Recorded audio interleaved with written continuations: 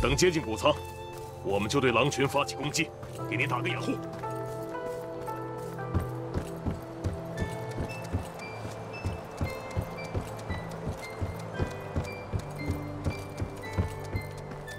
大门都坏了，真的得爬进去了。阿兄没问题的，毕竟阿兄也是有记忆傍身的人。什么嘛！阿兄，他在那山头上。好，咱们绕路过去，杀他个措手不及。